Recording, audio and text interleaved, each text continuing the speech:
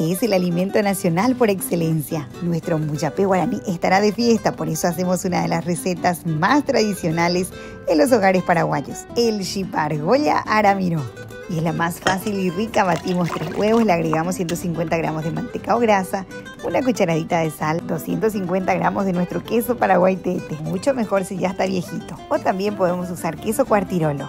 Opcional agregarle o no anís. Y nuestro almidón de mandioca refinado. Comenzamos a mezclar. Unimos todos nuestros ingredientes y vieron qué fácil. Ahora sí, amasamos.